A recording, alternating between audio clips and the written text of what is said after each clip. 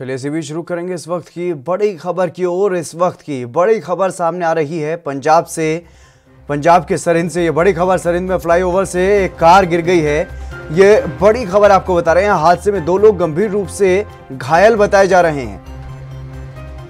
GT road पर चल रहा था मरम्मत का काम और उसी दौरान ये हादसा हुआ है। मौके से भाग खड़े हुए मजदूर।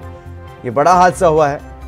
दो लोग इसमें घायल बताए जा रहे हैं गंभीर रूप से। सरहिंद में फ्लाईओवर से ये कार गिर गई है। ये तस्वीरें भी आप देख सकते हैं।